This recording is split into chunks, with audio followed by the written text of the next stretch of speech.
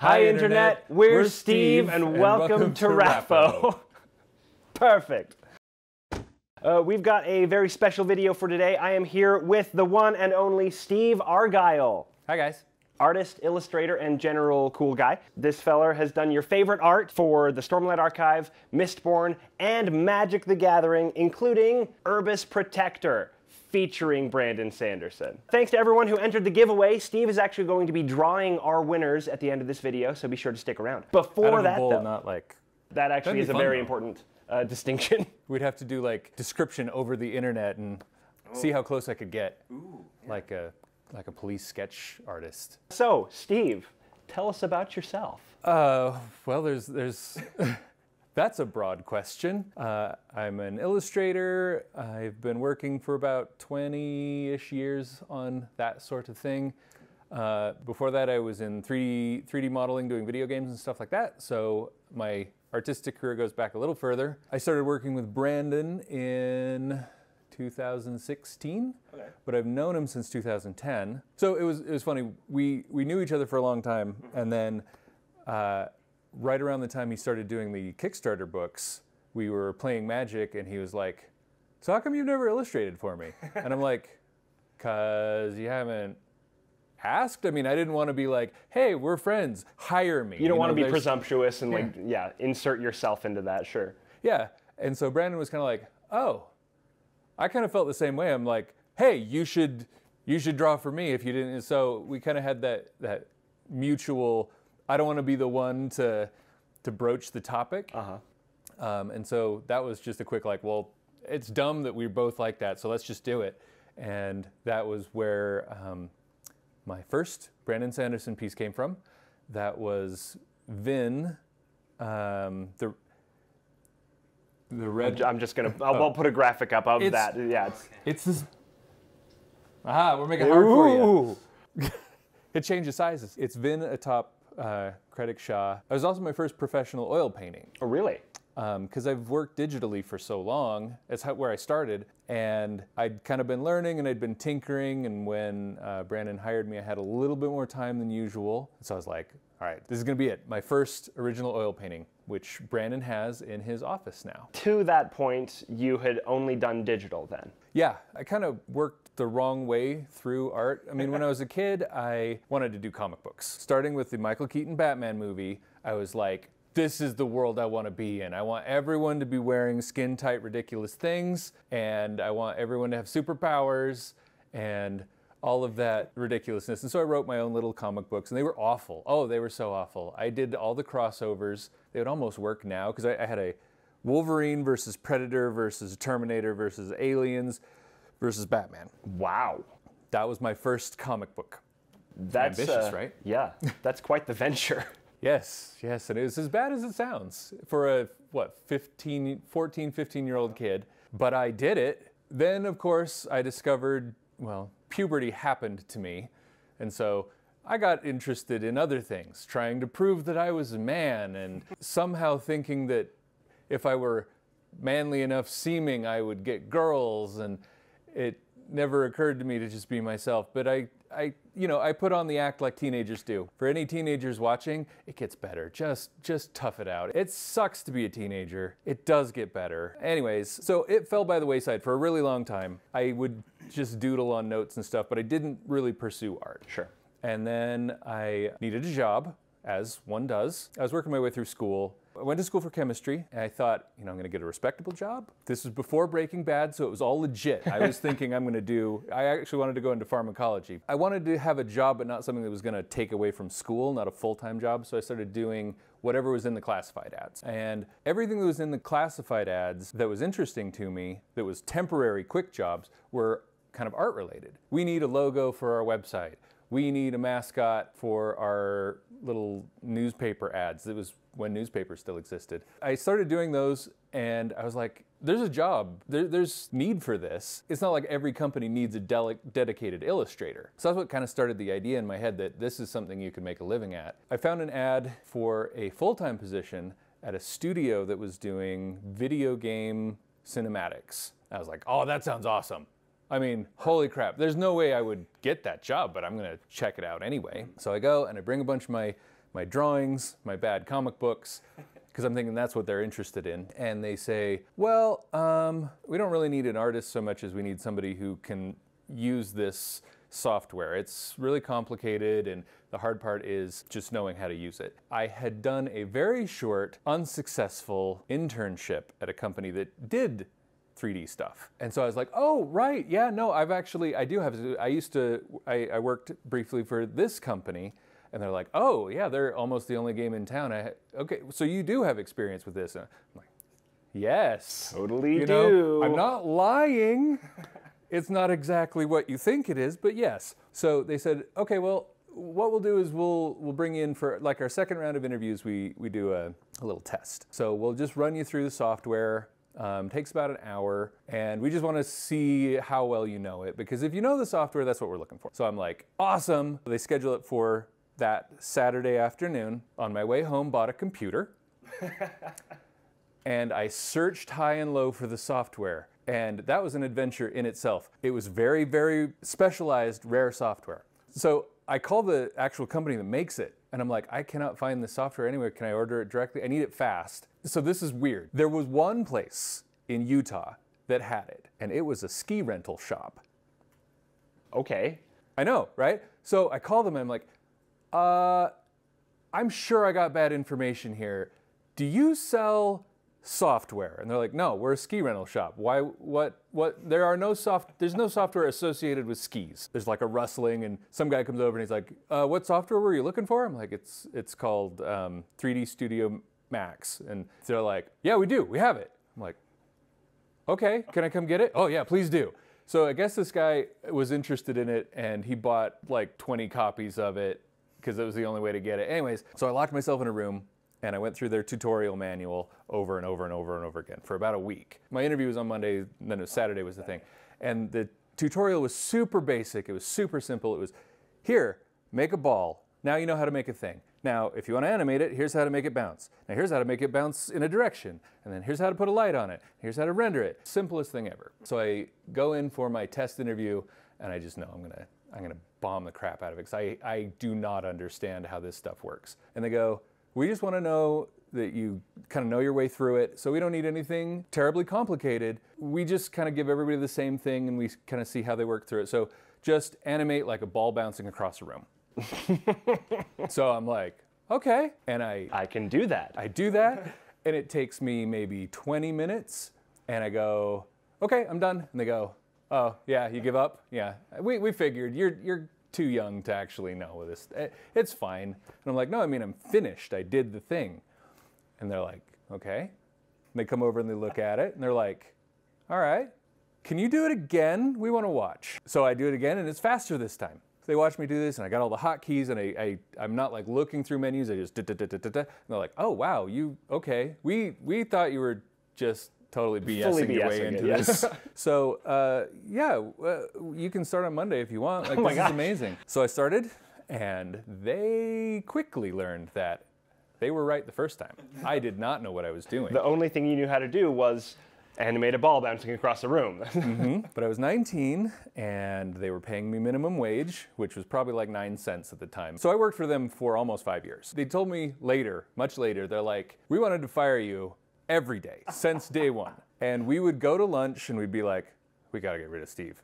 I mean, he sucks. And they'd go, yeah, yeah, let's do it. I've got to do this and this and this today, so you fire him. It's like, I don't want to fire him. To, look, I got this and this and this to do today. You got to fire him. Well, okay, he's costing us like a dollar, so we'll just do it tomorrow. So it's like that Princess Bride thing. Good night, good work. We're going to fire you in the Most morning like to fire you in the morning. and they just didn't, right?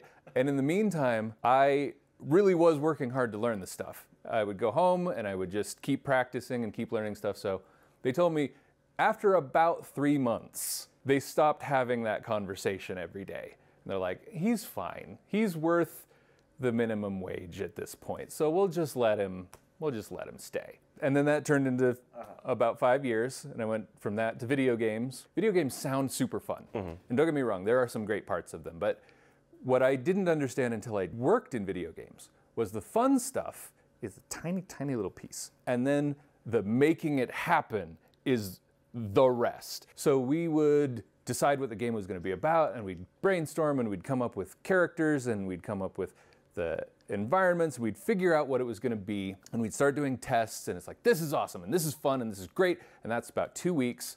And then it's like, now we have to populate this whole world with rocks and trees and buildings, and that takes two years. It's different now, but at the time it was so much just monotonous. Okay, build a thing. Now you need to do 10 versions Grass. of it so that as it gets further away from the camera, we, we down res it so that it will work on a PlayStation 2. And what I realized, and I worked for them for about five years too, is games are amazing when you're coming up with them and when you're doing like the marketing art and your advertising. And so I thought, I just want to do that part. I just want to do the drawing characters and coming up with the stuff that people go, wow, that's cool. I want to know more about it. So I quit with plenty of notice. I, I, I quit and it was uh, like, they're like, well, how long can you stay on? Is this your two weeks? And I'm like, I'm just quitting at some point. I'm letting you know that I want to do something different. So they're like, well, can you stay on until we get this part of our game done, whatever. So I, my my two weeks notice was was actually six months notice. I kept working for him for a long time after that. But then I jumped headfirst into freelance with just the safety net I had saved up, which was very important mm-hmm. because it took a little over a year before I was even breaking even. So I was burning through savings for about a year. I knew at this point a lot of the people that I worked with had tried freelance and went, it doesn't work. They were very happy for their full-time job. I was young and stupid and I'm like, well, that's not, good. I, I am different. the rules don't apply to me. I mean, it ended up being true. What happened was I, I, I just burned through savings until I finally started getting enough clients and things to break even. And even at that, it was years before I was doing okay and making money. So how did you first get involved in Magic? Like, what was your first contact with Wizards of the Coast? My first contact with Wizards of the Coast was actually for Dungeons and Dragons. Oh, okay. That was all over email. I had done some work for Legend of the Five Rings. That's where I kind of started in my freelance career. I'd done enough stuff that I had a tiny little portfolio and I sent it into Wizards of the Coast and they gave me some Dungeons and Dragons work, which was tons of fun. It was, it was great. For Magic the Gathering specifically, I was at Gen Con in 2007, I think. The art director for Magic the Gathering was there, Jeremy Jarvis. He is an awesome, amazing guy. I was like, okay, I want to work for Magic the Gathering. He's here. This is my shot. There's a lot to be said about meeting people in person, getting to know them, and having a personal relationship, which is it's it's kind of getting harder to do. Wizards of the Coast, for example, does not go to conventions anymore, right? They used to go to San Diego Comic Con, Gen Con, um, and a handful of other things. So you could go and you could meet them. Now it's it's a lot harder. I found out that the way that it worked at Gen Con was the artists and the art directors all went to a, a hotel bar after the show and got drunk together. Well, that sounds easy enough, right? So I tagged along, like, okay, well, there's, there's Jeremy Jarvis. I don't want to be like the, hey, I'm sorry to interrupt all the fun you're having.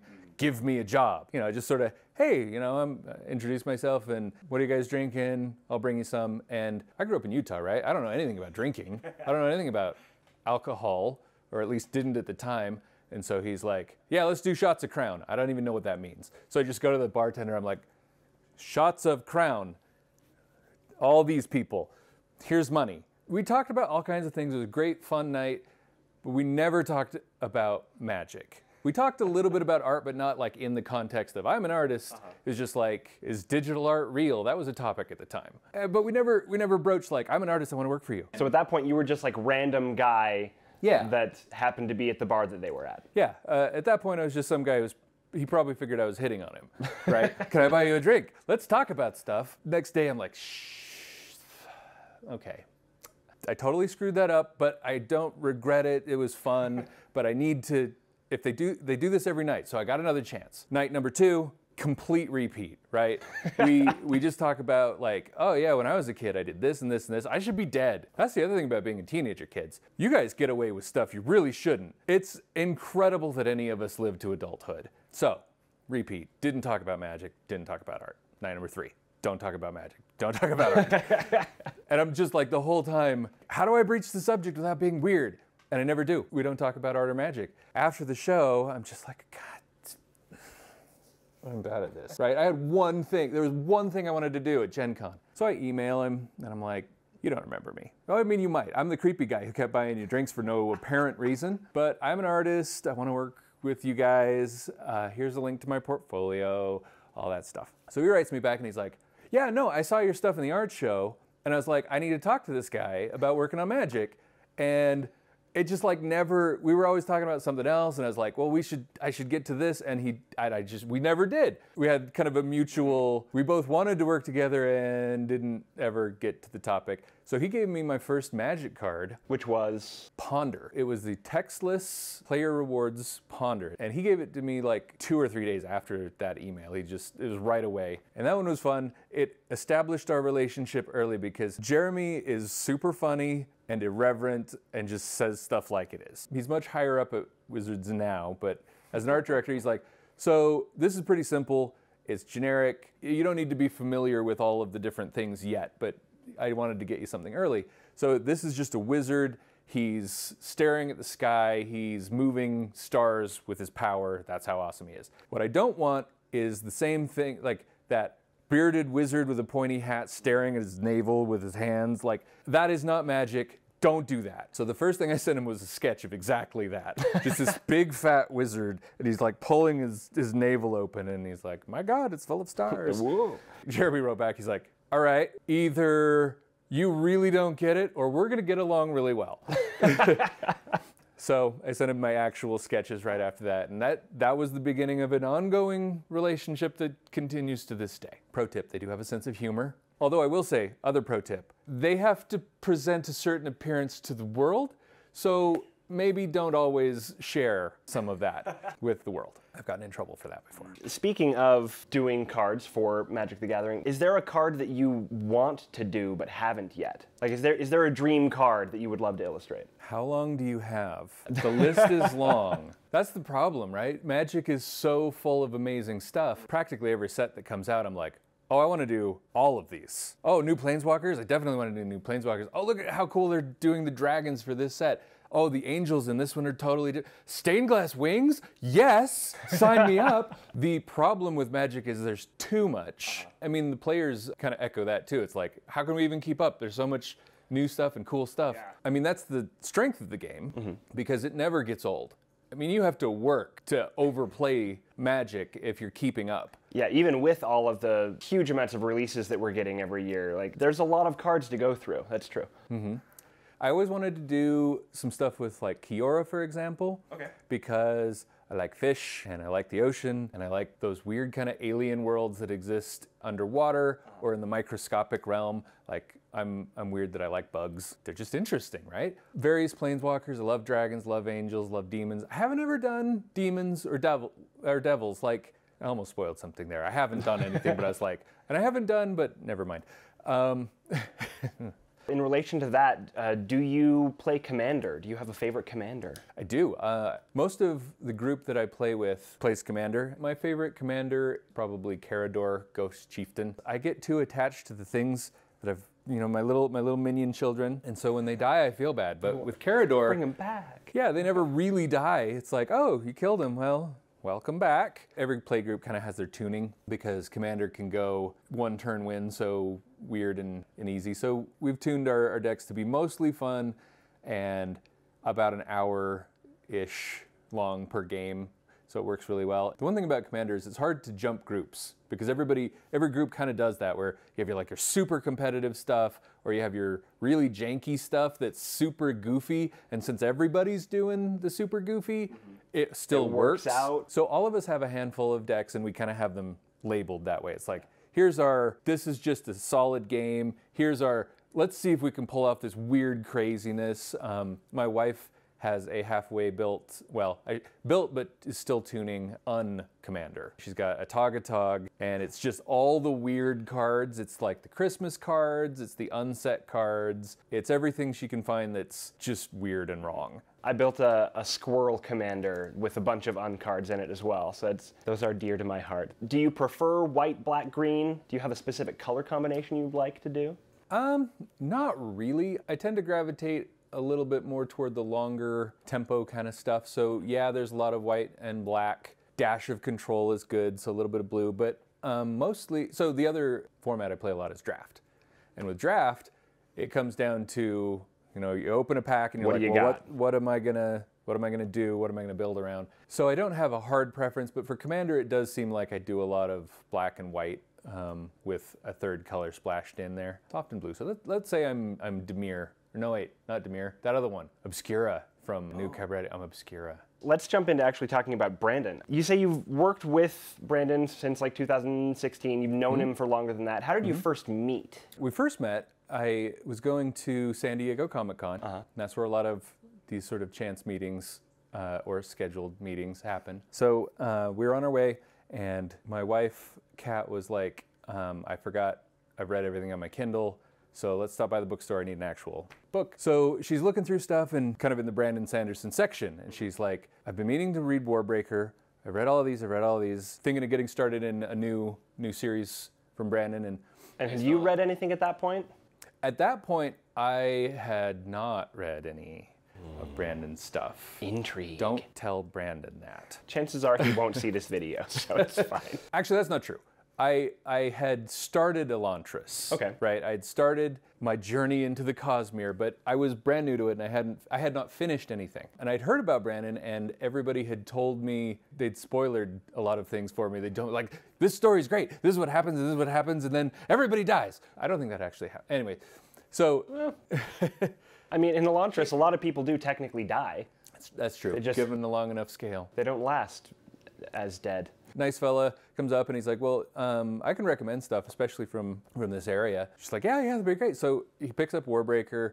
He's like, "So if you haven't read this one, um, eh, but you have read these, I, I definitely recommend this one." Um, now, full disclosure, I'm a little bit biased because I wrote it. So, and we both. Wait, what? Brandon? Brandon said, oh my gosh. You know, he was there doing his little mystery signing thing that he does. Because he was on his way to San Diego Comic Con, same as us. We fangirl out. I had only read that bit of Elantris, but I was already a fan. So I was, oh, I fanboyed out a little bit. And Kat was like, oh, well, you, you guys need to know each other, right? She's, she's my art pimp. is what- so she's like, yeah, so this is my husband, Steve, and he does Magic the Gathering cards. And Brandon's ears perk up a little bit. Oh, Magic the Gathering. What? What's what's your? And Steve Argyle. He's like, yes, you did Liliana of the Veil, and you did Chandra Ablaze, and you did like, yeah, I, I know your stuff. And so he was uh, super nice. And then we had to get on plane. When we got back, he. Uh, he invited me to play Magic. At the time, he would do like local game stores where they would do a draft and he would show up and play. And he's like, why don't we do a double up celebrity thing where we'll do two headed giant, it'd be me and you versus everybody. That sounds amazing. Brandon basically taught me how to play draft because I, I, you know, I knew Magic, but I was like, I don't know how to just put a deck together like this. And then after that, he was like, we kind of do this at my house sometimes. If you want to, want to come play, we have a drafting group. So started just going over and playing draft, and that's why we knew each other for a long time before we actually started working together. Is it started as we're Magic buddies. That's how we met, and that's how we got to know each other. Oh, and then even before, sorry,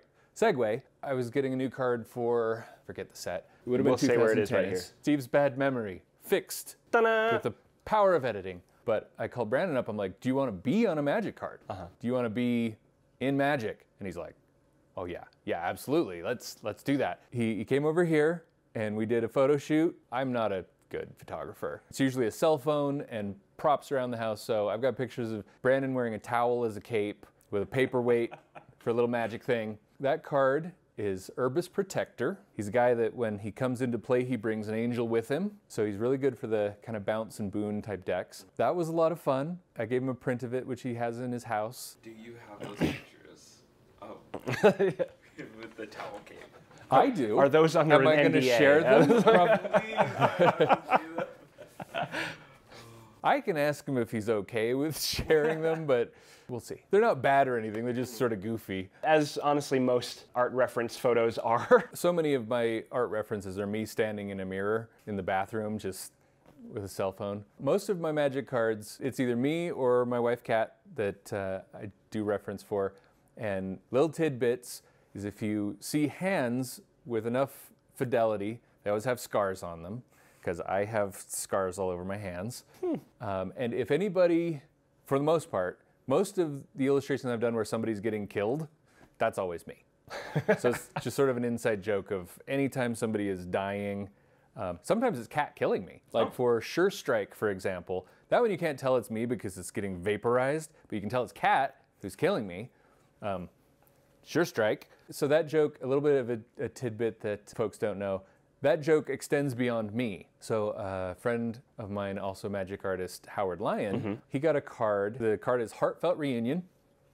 It's Gideon in the afterlife, right? He's he's died, sacrificed himself heroically, and now he's back with his regulars, his his old buddies. And uh, Howard was like, "You want to pose for that? It's a dead guy. It's a dead planeswalker. That seems to be right up your alley." And so I went over and I posed for Gideon. So even in other people's cards, I'm the dead guy. Wow. Congratulations. You, you make a you make a delightful corpse. Yeah, thank you. Suits my complexion. The pallid skin of the artist. I only turn pinker. That's I've tried tanning. It just doesn't work. I was told by a uh, one of my patrons on Patreon. Hi, Doug.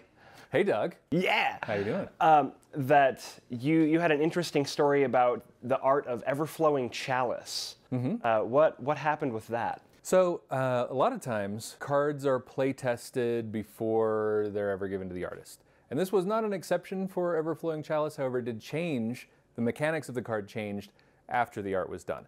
That's quite uncommon.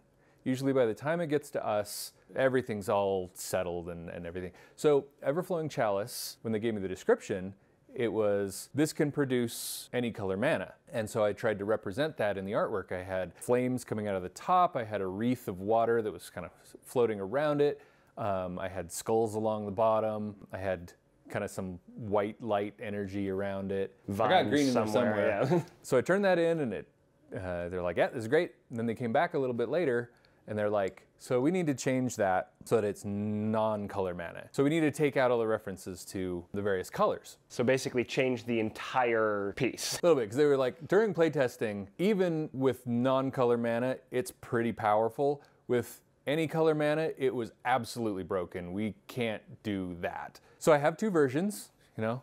We'll do this. This is the card you've seen, and then whatever. Mm. This is the original version that has all of the little color references. Interesting. Not a typical process for Magic. Usually there's very little revision. Usually they know what they want, they describe it well. We do sketches so that we know we're all on the same page. If there's tinkering, it's usually in the sketch phase. So they're, they're like, move this around or let's put this in, this isn't working, whatever. But it's in that stage where it's really easy to iterate on ideas. Usually by the time you've turned in a final painting, you're good. There might be a tweak here and there, but it's not very common. And that's because the art directors at Wizards of the Coast kind of know what they're doing. They know how to ask for what they really want because there's a whole terminology and language that comes with art and that's what usually makes the communication difficult with new people. They don't necessarily know how to ask for what they want. Well, speaking of asking for specifics and the process of iteration, you did all of the art for the Knights Radiant orders for the Way of Kings Leatherbound Kickstarter, which they're all gorgeous. There's a lot of them. Uh, There's, I mean, there's 10. There's 10. I remember hearing, I, I think it was in a live stream with Brandon, where he mentioned the armor styles of all of the different Knights Radiant orders mm-hmm. were specifically designed for each order. What was that process like? Like, what are some of the differences between the shard plate of the different Radiant orders, and why are those differences there? I wanted it to be clear if you saw shard plate, you knew it was shard plate. Yeah. Like if you just saw a random piece of art out in the wild in the internet or at a convention or something, you'd just be like, "Oh, that's shard plate." Right? So the the first bit was creating a visual language that said, "This is what shard plate looks like." So there's like an overall list of these are the things that shard plate always has. Just general characteristics. Yeah, and that's things like the slits in the visors and having an interesting design to those, not just the usual European thing that you've seen. Shoulder pads that are symbolic of rank and of the order, but not crazy like World of Warcraft gigantic, but they're they're somewhat ornamental because the rest of them, as Brandon describes them, they are they're the tanks compared to regular armor being infantry. So they need to be big and powerful and bulky and looks like if you were in them you couldn't move because it's true. If they're not if if they're not um, Infused. yeah, I didn't want to give anything away, but like if they're if they don't if they're not infused, they are too heavy to move in. They are too big and bulky. So that's part of that visual language. They need to look that way. And so I needed some things that were common and would show, could be um, descriptive, ornamental.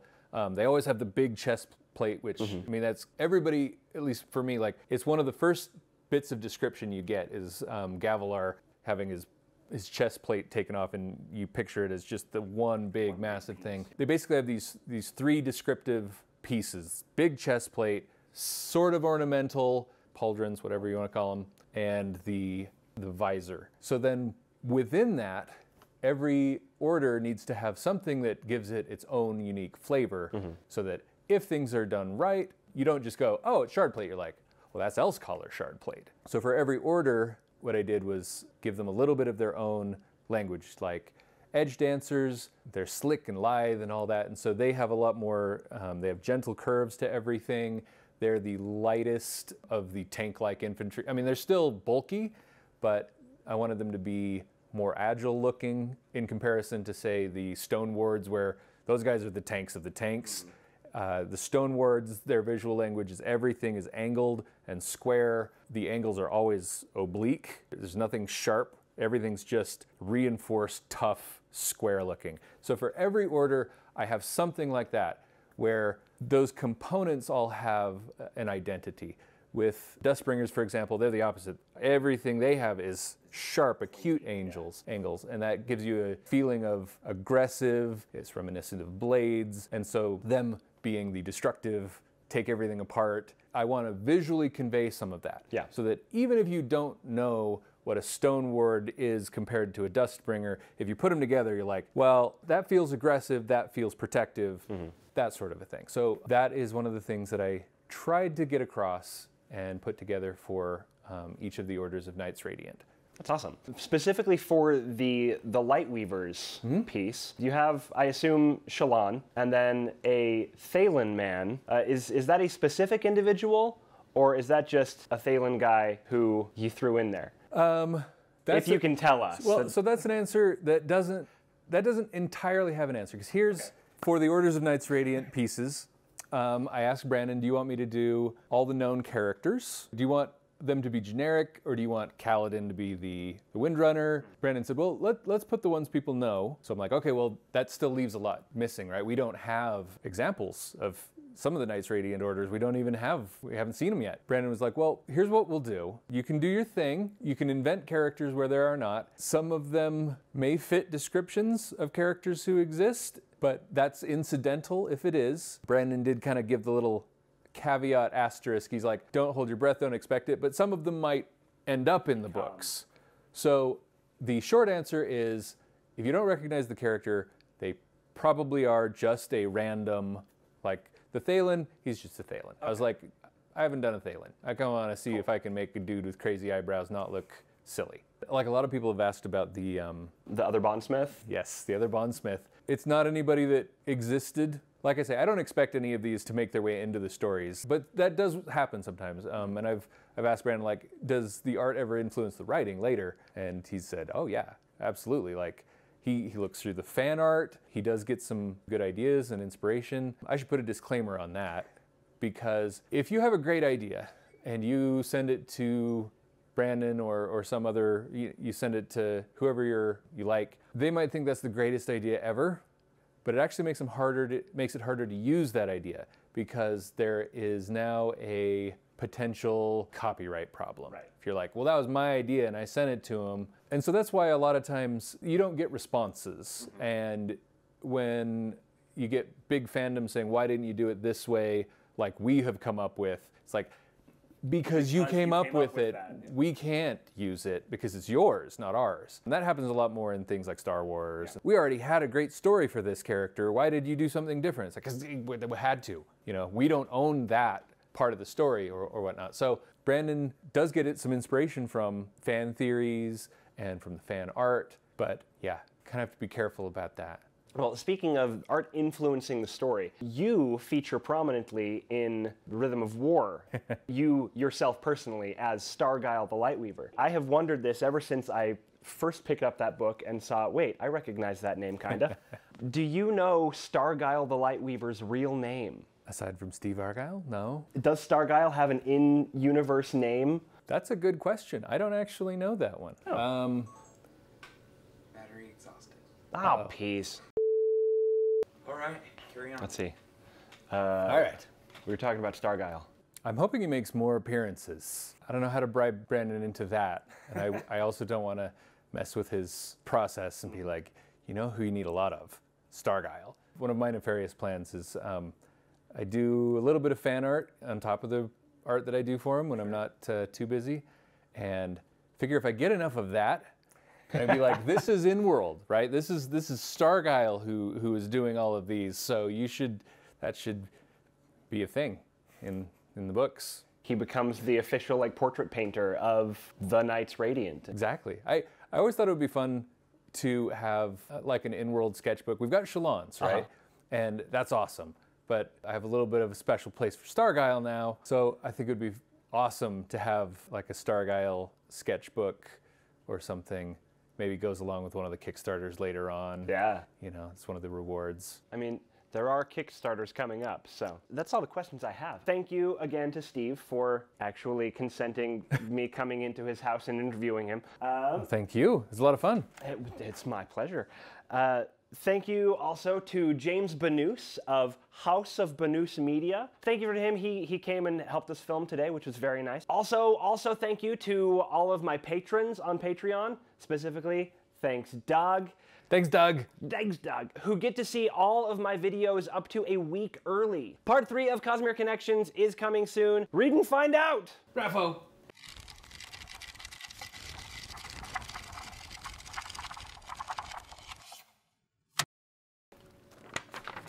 We did it. We did it, guys. We did it. Awesome. Cool. Thank you. You're free. That is a wrap on the Steves.